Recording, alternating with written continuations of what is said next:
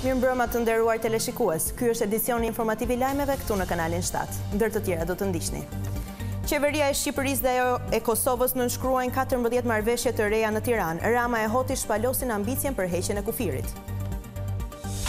Mazhoranca miraton e vetme ndryshimet në kodin zgjedhor që nuk prekin koalicionet, toleron vetëm uljen e pragut dhe hapjen e listave.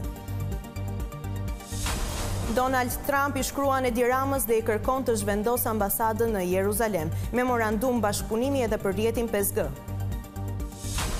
Freedom House publikon raportin, pandemia e COVID-19 thelloi krizën për demokracinë në të gjithë botën, ndërsa qeveritë abuzuan me pushtetin. Presidenti amerikan dhe zonja e parë preken nga koronavirusi. Trump njofton karantinimin në Shtëpinë e Bardhë dhe nisjen e trajtimit mjekësor.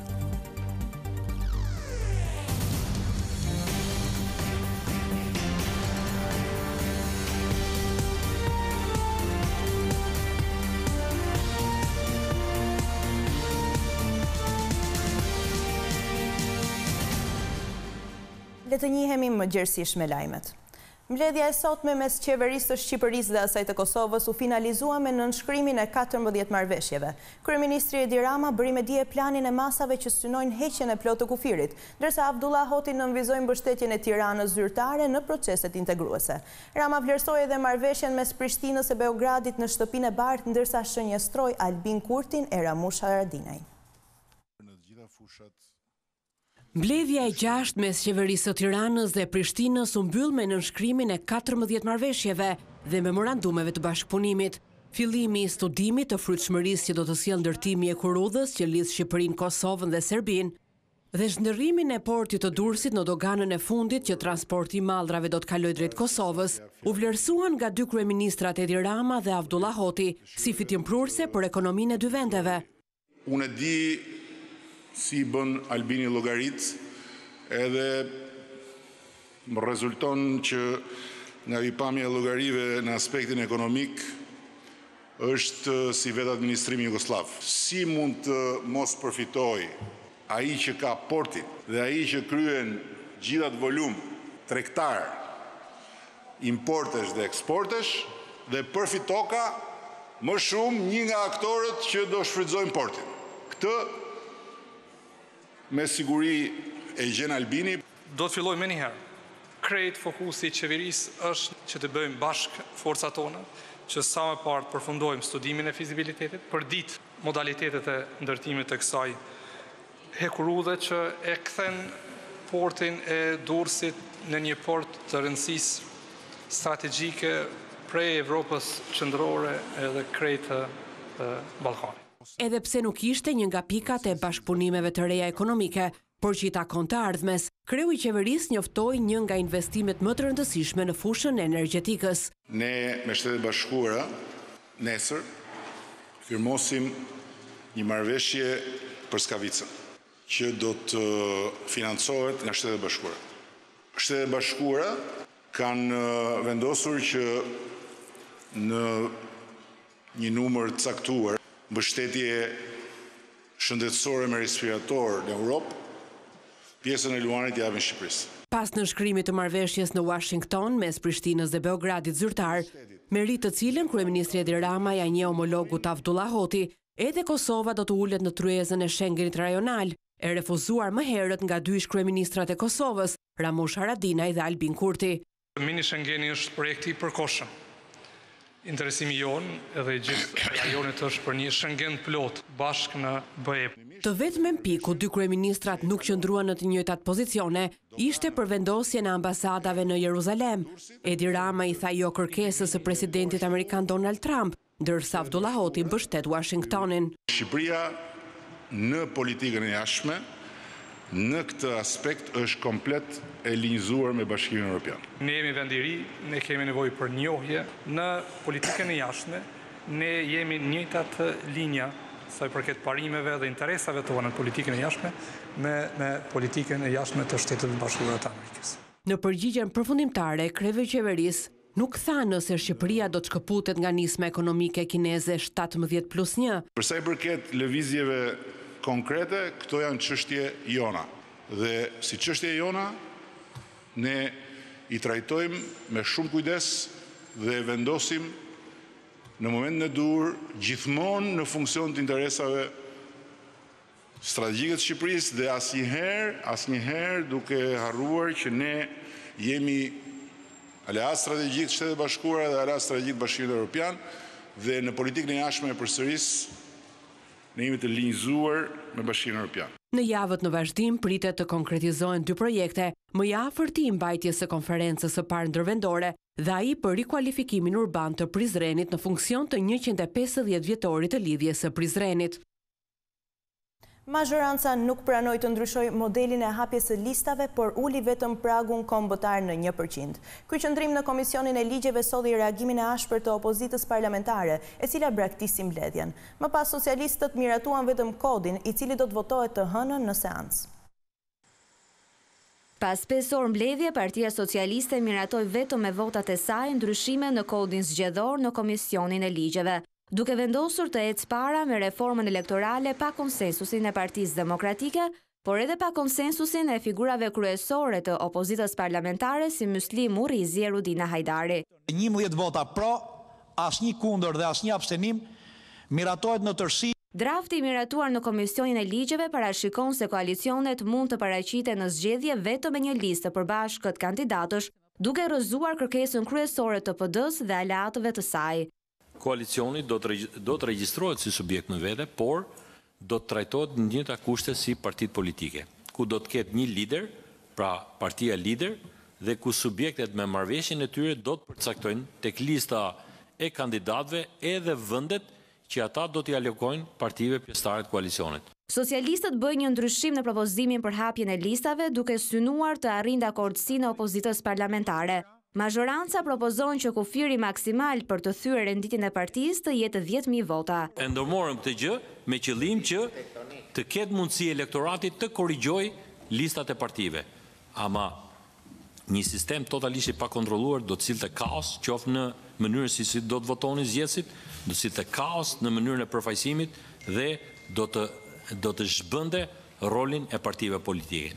Mazhoranca pranoi dhe kërkesën e opozitës parlamentare për uljen e pragut kombëtar në nivelin një për qind si dhe kërkesën që kryetari i partisë të ketë mundësi të garojë në katër qarqe.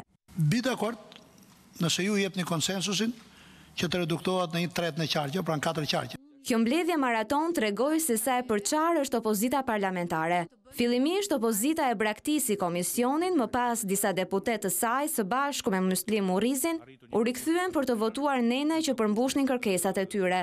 dhe u larguan pasi nuk gjetën konsensusin për modelin e hapjes së listave. Por dy kryetarët e grupeve parlamentare të opozitës, Edmond Stojku dhe Nimet Musaj, jo vetëm qëndruan në mbledhje, por edhe shprehën qëndrimin e tyre pro ndryshimeve, duke i dhënë kështu shumicës çdo garanci se i ka votat të hënën për të miratuar reformën zgjedhore. Komisioni i Posaçëm Parlamentar përmbyll procedurën për përzgjedhjen e kandidaturave për organet drejtuese të KQZ-së. Partia Socialiste propozoi për kryekomisioner Bledar Skënderin, Ilirjan Celibashin dhe Ilir Rusmalin, por për shkak se Skënderi pritet të bëhet drejtor i AKU-s, socialistët e zëvendësuan me Ardian Myslimajn. Ndërkohë përfaqësuesi i posaçëm i opozitës, Oerd Bylykbashi skualifikoi Ilir Rusmalin, i cili ka qenë më herët ministër i Partisë Demokratike. Partia Demokratike përmes Oerd Bylykbashit propozoi për zëvendës komisioner Lealba Pelinkun, Agron Haxhimalin dhe Hysen Osmanajn, por PS e skualifikoi këtë të fundit. Për pozicionet në Komisionin e Ankimimeve dhe Sanksioneve nga PS propozohen Ervin Lako, Koli Bele, Ilir Rusmali, ndërsa nga PD Ledjo Braho dhe Elvis Çefa. Lista me pesë kandidatë të KAS do të votohet në bllok në seancën plenare.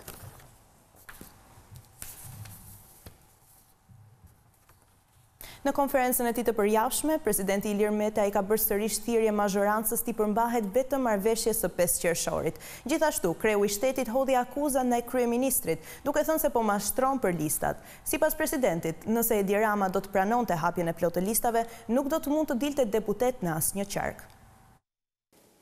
Presidenti i Republikës Ilir Meta ka artikuluar paralajmërime të ashpra ndaj mazhorancës në lidhje me reformën zgjedhore. Gjatë konferencës së përjavshme për shtyp, kryetari i shtetit Meta ka deklaruar se pesë qershori nuk mund të preket, duke i kërkuar shumicës qeverisëse të tërhiqet. Ne nuk mund të lejojmë dhe nuk do të lejojmë kurrsesi instalimin e një grushti shteti. Do të bëhet një shembull për të gjithë botën, jo për Europën që nuk Diskutohet dhe çdo shqiptar, jo vetëm me votë, po edhe me poezinë e Havzi Nelës. Ja liri ja vdekje dhe me çdo mjet tjetër legjitim do të ekzekutojë rivendosjen e rendit kushtetues, demokracisë dhe sovranitetit të plotë të popullit shqiptar. Meta ka akuzuar kryeministrin Edi Rama se nuk dëshiron t'i hapë listat e kandidatëve për deputetë. Ai me lista të hapura në asnjë qark të Shqipërisë nuk del deputet. Le ta vërë veten jo në katër qarq po në dymbëdhjetë të parin. Por paralajmërimet e kreut të shtetit për mazhorancën nuk ishin vetëm në lidhje me reformën zgjedhore, por edhe me çështjen e mbrojtjes së interesave të Shqipërisë në gjykatat e arbitrazhit ndërkombëtar. e cila sipas tij është kthyer në një rrezik për financat e vendit. Njëzet e gjashtë prill secili do të mbajë përgjegjësi. Ka bërë çka ka bërë deri tani, të paktën sot e tutje do ta kenë parasysh.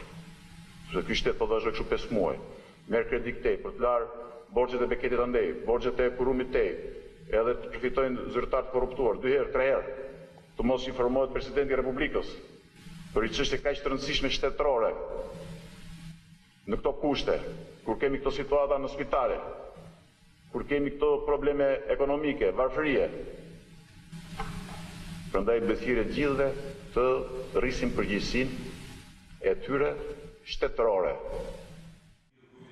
Pavarësisht paralajmërimeve të presidentit Ilir Meta për reformën zgjedhore, ligjërisht ai vetëm mund të kthejë për rishqyrtim kodin, por mazhoranca i ka votat ta rrëzojë kryetarin e shtetit. Nëpërmjet një letre dërguar kryeministrit Edi Rama, presidenti amerikan Donald Trump i kërkon Shqipërisë të zhvendosë ambasadën e saj në Jeruzalem. Ndër të tjera, Trump ofron edhe një memorandum mirëkuptimi me SHBA-në për sigurinë e rrjetit pesë G kundër ndikimit malinj të Kinës. Pas Serbisë, Shtetet e Bashkuara të Amerikës kërkojnë që edhe Shqipëria të zhvendosë ambasadën e saj në Jeruzalem. Në letrën dërguar kryeministrit Edi Rama, kreu i Shtëpisë së Bardhë, Donald Trump, inkurajon vendin tonë t'i bashkohet Amerikës dhe disa vendeve të tjera të Evropës që përfaqësinë diplomatike ta vendosë në atë që Izraeli e njeh si kryeqytet të tijin, Jeruzalemin. Unë dua t'ju falenderoj për mbështetjen tuaj të fuqishme të Marrëveshjeve të Abrahamit, hapi më domethënës drejt paqes në Lindjen e Mesme për këtë gjeneratë. Ju inkurajoj që t'u bashkoheni Shteteve të Bashkuara dhe të tjera kombeve europiane në zhvendosjen e ambasadës tuaj në Jeruzalem. Kjo nuk është kërkesa e vetme që Donald Trump ka për Edi Ramën. Në letrën ku fillimisht vlerëson lidershipin shqiptar në rajonin e Ballkanit dhe në Evropë, në ato që presidenti i SHBA-ve e quan ndaj ekspozimit malinj të Kinës në abuzimin me të drejtat e njeriut dhe praktikave grabitqare të huazimit, Kërkon që mbështetja e Shqipërisë në nismën amerikane për një rrjet të pastër pesë G të konkretizohet me një marrëveshje mes dy vendeve.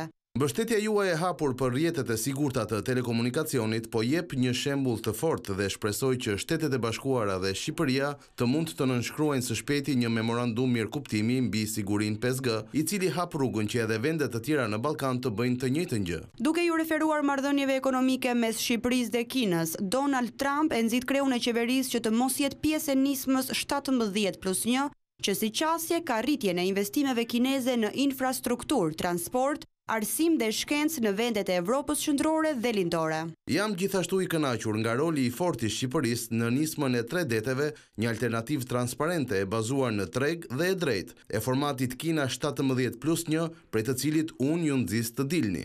Falenderues, presidenti amerikan tregohet ndaj Edi Ramës edhe për mbështetjen e tij në normalizimin e faktorëve ekonomikë mes Kosovës dhe Serbisë.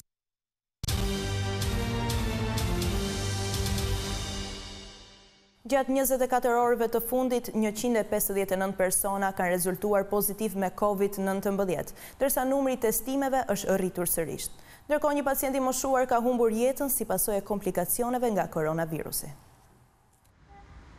Njëqind e pesëdhjetë e nëntë persona janë konfirmuar pozitivë me Covid nëntëmbëdhjetë gjatë orëve të fundit, ndërkohë që numri i testimeve laboratorike të kryera ka qenë më i larti që nga fillimi i pandemisë. Janë kryer një mijë e tetëdhjetë e pesë testime, nga të cilët kanë rezultuar pozitivë qind e pesëdhjetë e nëntë qytetarë të prekur nga virusi SARS-CoV dy.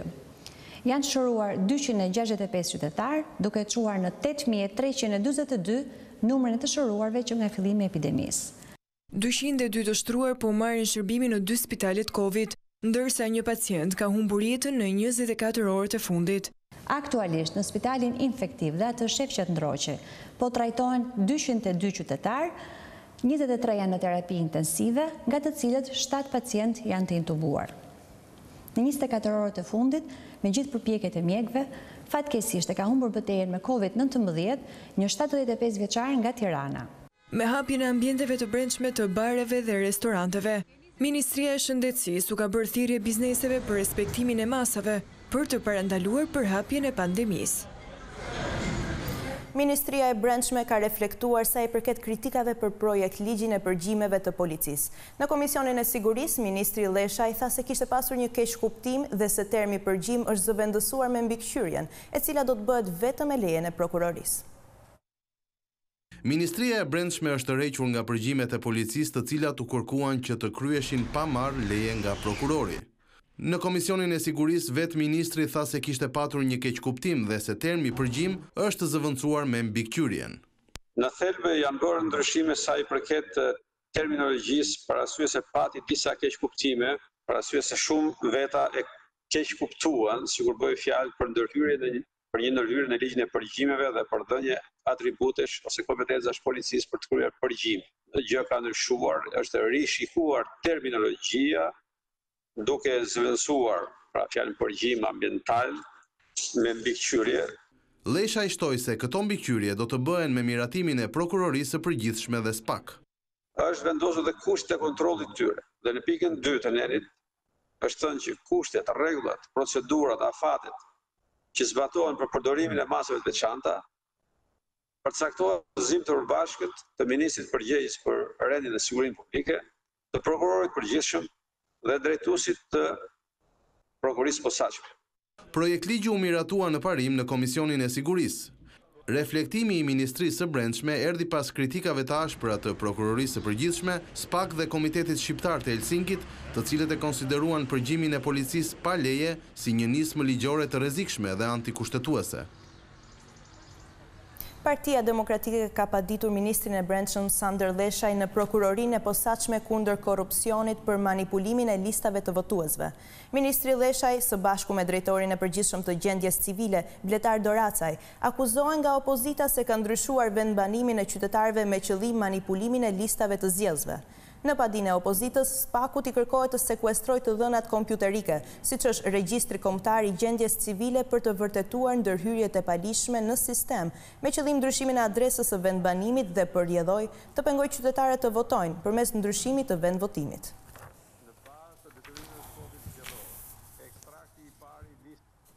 Këtë të premte janë dorëzuar prova të reja lidhur me vrasjen e Azem Hajdarit. Në procesin ndaj një prej të akuzuarve, Izet Haxhia, organi i akuzës foli për pamje filmike të asaj kohe që tregojnë dinamikën e ngjarjes dhe personat e implikuar. Të tjera prova për vrasjen e ish-liderit të dhjetorit Azem Hajdari janë siguruar nga prokuroria në procesin ndaj Izet Haxhias, një prej të akuzuarve për krimin e rëndë. Prokurori i çështjes Dritan Nushi dorëzoi një USB me materiale filmike që janë marrë nga mediat e asaj kohe. Sipas tij, ato sjellin prova të reja lidhur me vrasjen, por trupi gjykues i kërkoi prokurorit që të paraqiste edhe autorizimin përkatës për përdorimin e pamjeve filmike. Ndërkohë, të dyja palët, si organi i akuzës ashtu dhe avokati mbrojtës, kanë dorëzuar një kërkesë me emra të cilët sipas tyre do të zbardhin përfshirjen e Izet Haxhisë në vrasjen e Azem Hajdarit. Mes tyre është edhe ish-kryeministri Sali Berisha. Avokati i Izet Haxhias Idajet Beqiri pretendon se mbesa e Berishës ka parë lëvizjen e autorëve të vrasjes para ngjarjes dhe ka njoftuar atë. Ai kërkon nga ish-kryeministri të japë shpjegime se pse nuk njoftoi policinë, por Azem Hajdarin për praninë e agresorëve. Rihapja e dosjes për Izet Haxhinë erdhi pas kërkesës që ai bëri në Gjykatën e Apelit, kërkesë e cila u pranua. Ndërkohë, Gjykata Penale e Tiranës pritet të shprehet në datën nëntë tetor, lidhur me kërkesën e Prokurorisë dhe të Mbrojtjes për thirrjen e dëshmitarëve në gjyq. Lideri i opozitës ka vijuar turin e tij të takimeve me biznesin, ku këtë të premte u ndal në Elbasan. Lulzim Basha ripërsëriti thirrjen ndaj kryeministrit Rama, të zbatojë sa më parë planin me pesë pika të Partisë Demokratike si e vetmja zgjidhje për krizën ekonomike. Kriza ekonomike dhe varfëria ishin fokusi i diskutimeve të liderit të opozitës gjatë takimeve me bizneset në Elbasan. Lulzim Basha dëgjoi shqetësimet e qytetarëve dhe akuzoi qeverinë se nuk bëri asgjë për të ndihmuar rimëkëmbjen nga pandemia. Dyjavëshin e fundit të shtatorit, konsumi ka rënë pikiatë, që do të thotë që xhepat e njerëzve janë boshatisur. Janë boshatisur sepse është i vetmi vend nga gjithë vendet e rajonit që jo vetëm s'pati paketë të tretë e paketë të katërt siç po japin vendet e rajonit, por ato dy paketat e para ishin paketa gjysmake dhe natyrisht ato pak para që u shpërndanë tashmë kanë mbaruar. Për Bashën, e vetmja zgjidhje mbetet zbatimi i planit me pesë pika i hartuar nga Partia Demokratike. E lus edhe sot nga Elbasani, t'i lërë broçkullat dhe gërr-vërret, dhe të marrë planin që e kemi përgatitur pasi kemi studiuar situatën. Jeni gati t'ia jepni? Po e kemi bërë publike dhe ditë për ditë po i them merre këtë plan dhe zbatoje. Se ky plan nuk ka të bëjë me konkurrencën politike mes partive, ka të bëjë me jetën dhe shëndetin e njerëzve.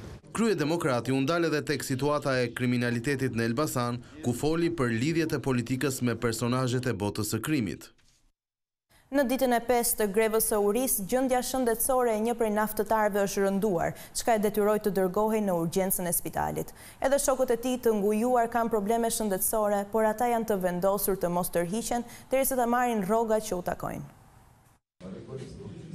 Ndërsa kanë hyrë në ditën e pestë të grevës, gjendja shëndetësore e naftëtarëve është rënduar akoma më shumë.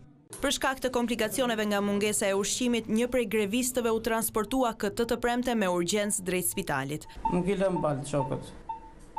Na ndjesi darka te durimi. Të vendosur për t'i shkuar deri në fund grevës, naftëtarët thonë se nuk do të tërhiqen pa marrë rroga që u takojnë. Gjendja shëndetësore sot sa vjen rëndohet.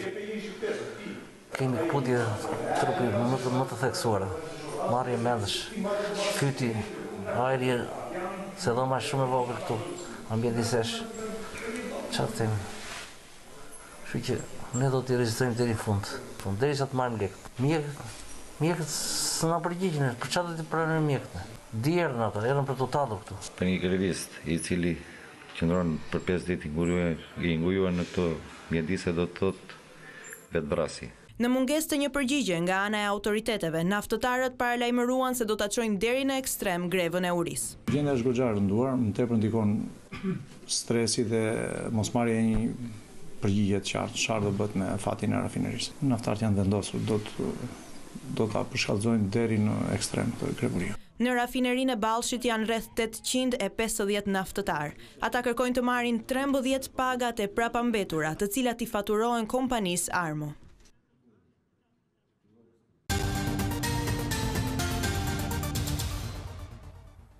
Infermierët në Kosovë protestuan sot duke kërkuar garanci për jetën e kushte më të mira pune. Tubimi erdhi pas ngjarjes së rëndë ku një punonjës i shërbimit shëndetësor u plagos me thikë nga pacienti.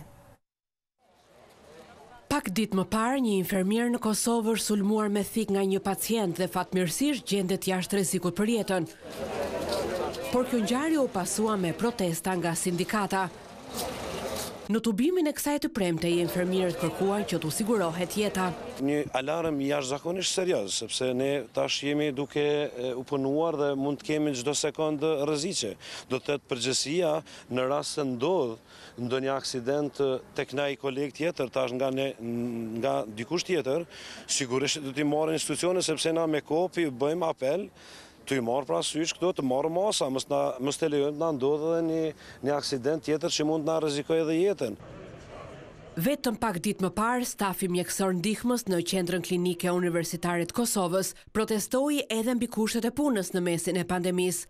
si dhe premtimet e pambajtura për përfitimin e pagës shtesë prej treqind eurosh.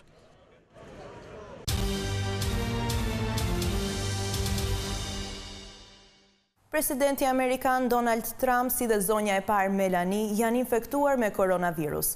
Lajmin e dha vetë presidenti me një postim në Twitter. Shtëpia e Bardhë njoftoi se gjendja e tyre shëndetësore është e qëndrueshme dhe se presidenti do të vijojë punë nga rezidenca. Presidenti Donald Trump dhe zonja e parë Melanie kanë rezultuar pozitivë ndaj testit për Covid nëntëmbëdhjetë dhe tashmë gjenden të izoluar në Shtëpinë e Bardhë. Në një postim në rrjetin social Twitter, Trump bëri të ditur lajmin menjëherë pas rezultatit. Sonte, zonja e parë dhe unë dolëm pozitivë me testin për Covid nëntëmbëdhjetë. Do të fillojmë karantinën dhe procesin e shërimit menjëherë. Do ta kalojmë këtë së bashku. Ndërsa Melanie Trump shkroi se gjendja e tyre shëndetësore është e mirë. Siç kanë bërë shumë amerikanë këtë vit, presidenti i Shteteve të Bashkuara të Amerikës dhe unë jemi në karantinë pasi kemi rezultuar pozitiv. Po ndihemi mirë dhe unë i kam shtyrë të gjitha angazhimet e ardhshme. Ju lutemi, sigurohuni që po qëndroni të sigurt dhe të gjithë do ta kalojmë së bashku. Mjeku i presidentit shtatëdhjetë e katër vjeçar, Sean Conley konfirmoi se Trump dhe zonja e parë janë mirë aktualisht dhe pret që presidenti të vazhdojë të kryejë detyrat e tij ndërsa do të vazhdojë kurimin. Sipas një zyrtari të Shtëpisë së Bardhë, të gjitha ngjarjet politike të Presidentit Trump për të ardhmen e afërt u anuluan, rrjedhimisht do të ketë një tërheqje nga fushata një muaj para zgjedhjeve presidenciale. Të mërkurën në mbrëmje, një nga këshilltaret kryesore të presidentit, Hope Hicks gjithashtu rezultoi e infektuar. Ajo kishte simptoma të lehta gjatë udhëtimit me avion nga një tubim në Minesota në Uashington. dhe ka shoqëruar presidentin edhe gjatë debatit të parë presidencial. Në muajt e fundit disa punonjës të Shtëpisë së Bardhë janë infektuar me koronavirus, përfshi Kate Millerin, sekretarin e shtypit të presidentit, Mike Pence dhe këshilltarin e sigurisë kombëtare të Shtëpisë së Bardhë, Robert O'Brien.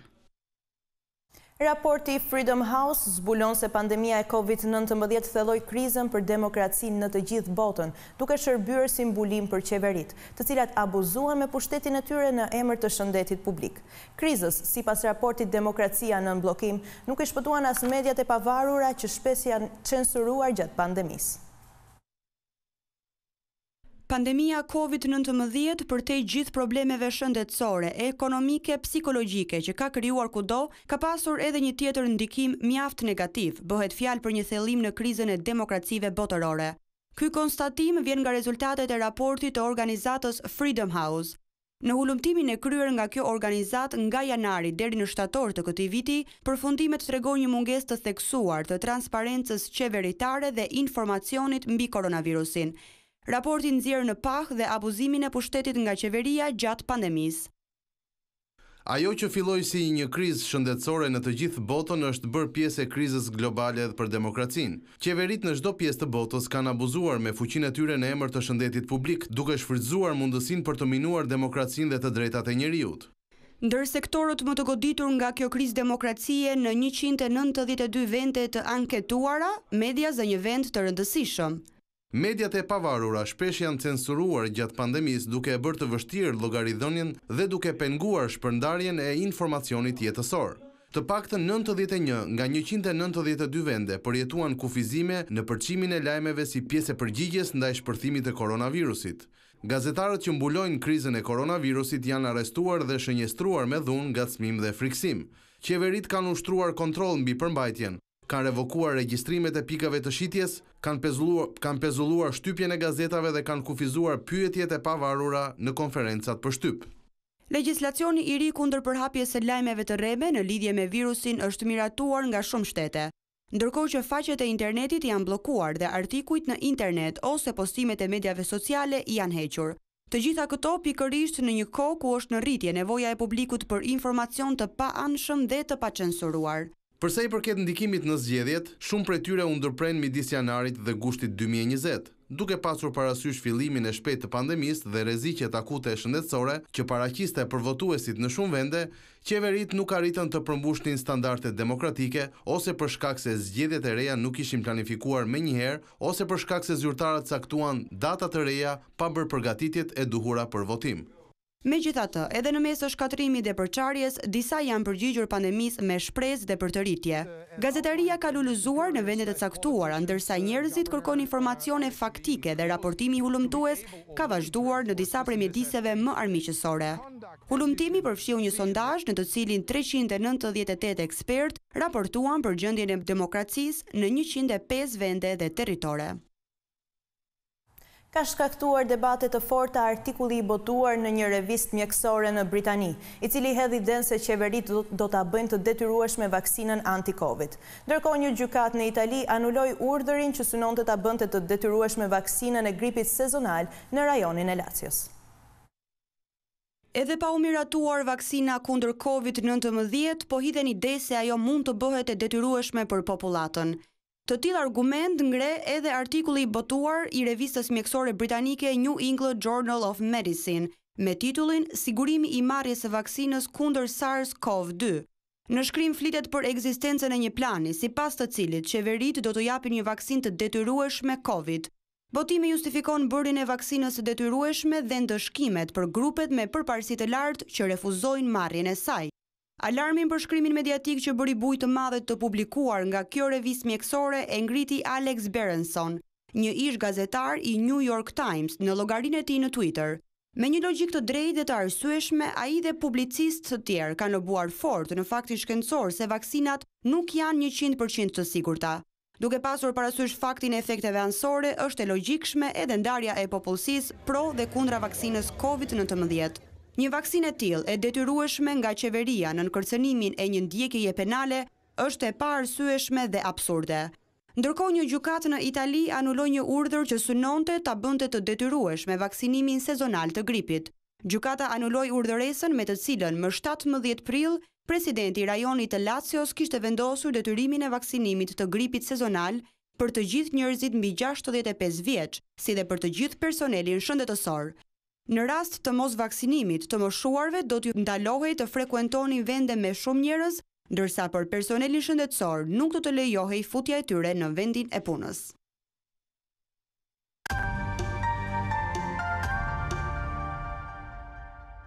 Rezidenca Alba, e vendosur pranë njëzet e një Dhjetorit, ofron standardet më të mira të banimit për familjet shqiptare. Kompania Edilal, pjesë e grupit Concord Investment, ka sjellë një risi në teknologjinë e ndërtimit. Jetesa brenda rezidencave është trendi më i ri i familjeve shqiptare, të cilat preferojnë komoditetin dhe sigurinë. Një ndër to është rezidenca Alba, e ndërtuar me standarde dhe cilësi maksimale në zonën e njëzet e një Dhjetorit në Tiranë. Rezidenca Alba plotëson të gjitha kushtet për të qenë një hapësirë urbane mjaft e përshtatshme në kryeqytet për të gjithë banorët që zgjedhin të jetojnë aty.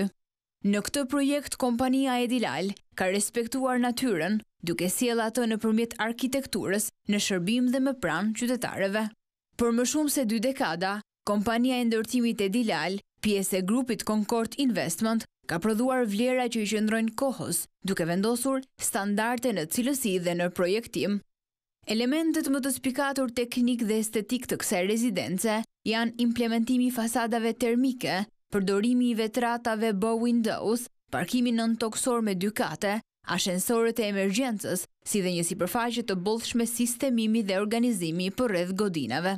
Alba, paraqet një risi në teknologjinë e ndërtimit, certifikuar si një rezidencë me elementë teknikë dhe akustikë të një niveli të lartë. E sistemuar me ambiente gjelbërimi dhe argëtimi, rezidenca paraqitet si një oaz i gjelbër dhe i qetë. Së fundmi në ambientet përreth rezidencës Alba janë kryer disa investime mjaft cilësore si nga ana e kompanisë së ndërtimit Edilal, ashtu edhe nga bashkia, me sistemimin e rrugëve lidhëse, trotuareve, ndriçimit led dhe elementë të tjerë urbanë të cilat i kanë dhënë më shumë jetë gjithçkaje që ndodh aty çdo ditë. Teatri i Operas dhe Baletit riktheu shfaqjet për publikun këtë radhë në një ambient të hapur.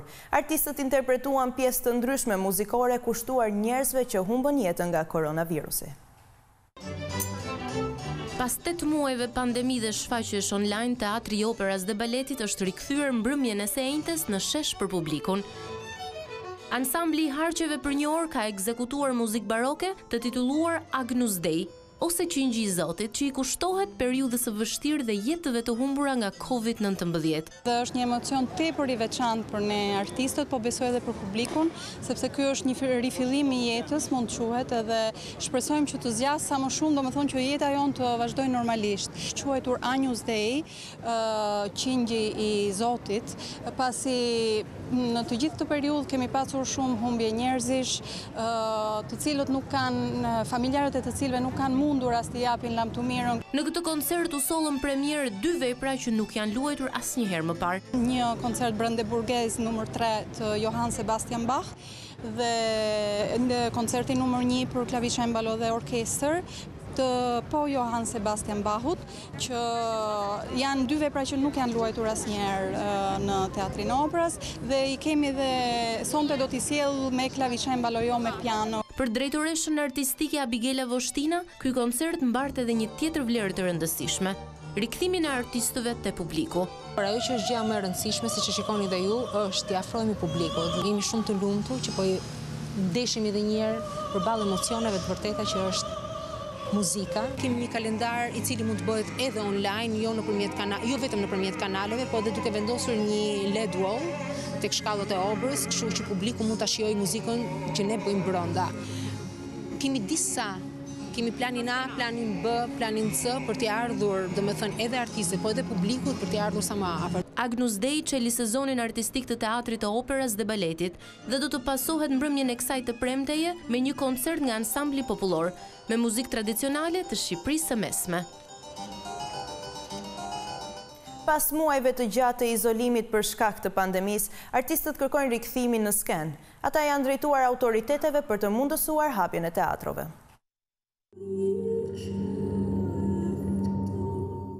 Institucionet e vetme që nuk kanë marrë dritën jeshile për t'u rihapur që kurse ka nisur pandemia janë teatrot. Akti i fundit normativ nga Ministria e Shëndetësisë që lajmëroi hapjen e restoranteve dhe pishinave, por jo atë të teatrove ka nxitur artistët të ndërmarrin nismën e hartimit të një kërkese për t'u rikthyer në skenë. Kjo paqartësi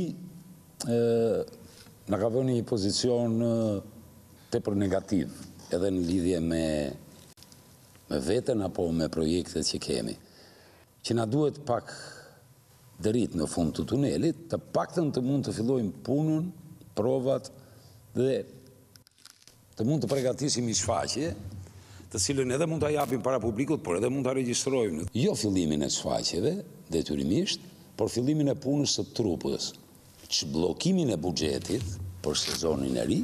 Për shumë nga aktorët ky bllokim është gati i pajustifikuar kur tashmë, në vendin tonë, të gjithë subjektet kanë nisur aktivitetin e tyre. Këtë radhë në kërkesën e Sindikatës së Artistëve të Teatrit Kombëtar ka edhe sugjerime, ku njëra është e hershme, rikthimi i tyre me publik të reduktuar. Përveç përgjigjes standarde që jep gjithkush prej tyre që varet çdo gjë nga situata apo nga grupi i teknikëve apo nga Ministria e Shëndetësisë etj me radhë. Në këtë situatë më të keqe në tërë Europën teatrot janë hapur dhe janë, tre vende bosh një plot, për shfaqje flas. Se provat i kanë filluar që të gjithë. Janë zhvilluar festivale. Në Ministrinë e Kulturës janë kërkuar takime edhe nga sindikata të tjera për të rikthyer jetën kulturore në skenat e brendshme, ndërsa bisedime ka patur edhe mes Ministrisë së Kulturës dhe asaj të Shëndetësisë. Zonja dhe zotërinj, ky ishte edicioni informativ i lajmeve këtu në Kanalin shtatë. Ju falenderoj për vëmendjen. Bashkë mirupafshim.